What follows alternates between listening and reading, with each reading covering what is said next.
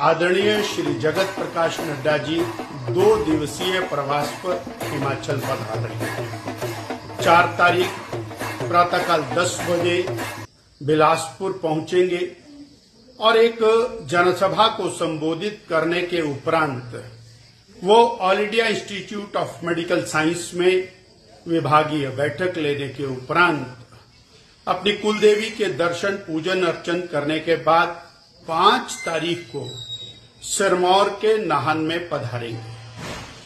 Bharatiya Janata party का नवनिर्मित कार्यालय सिरमौर जिला का, उसका विधिवत उद्घाटन करेंगे प्रातः साढ़े ग्यारह बजे और उनका भव्य स्वागत नाहन में पार्टी कार्यालय पर किया जाएगा।